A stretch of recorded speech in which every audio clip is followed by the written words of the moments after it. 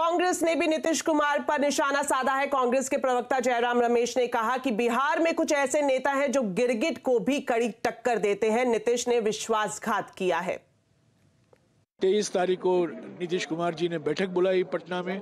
18 पार्टियाँ वहाँ मौजूद थी। बम्बई में बैठक हुई, बेंगलुरु में बैठक हुई। सभी बैठकों में नीतीश कुमार जी मौजूद थे। उन्होंने कोई संकेत नहीं दिया। पर बिहार में बिहार में कई नेता मौसम वैज्ञानिक होते हैं।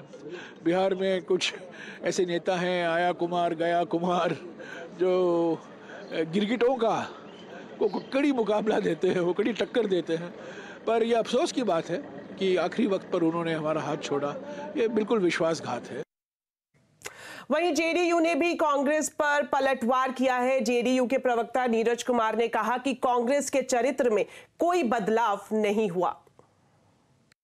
डेढ़ वर्ष की लंबा, का लंबा अंतराल और माननीय नीतीश कुमार जी के पहल पर इंडिया ब्लॉक बना। कांग्रेस के बगैर विपक्षी एकता की बात अगर देश के अंदर कोई किया तो माननीय नीतीश कुमार जी ने किया। लेकिन कांग्रेस पार्टी का जो मूल चरित्र है, उसमें कोई बदलाव नहीं आया। तो क्षेत्रीय पार्टियों का सम्मान करना इनके राजनीति का डीएनए नहीं है।